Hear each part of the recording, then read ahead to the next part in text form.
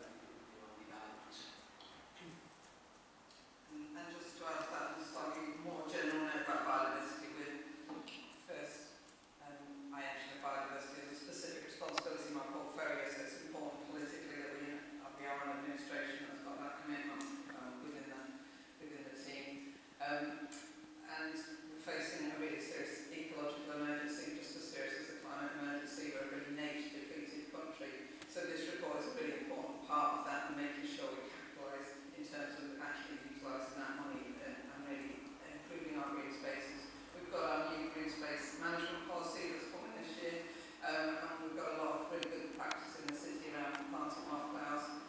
and uh, urban greenhouse projects like that. So we do have some really good work going on in the city, um, but it's really important to say it is an emergency that we deal with, with the nature depletion and trying to support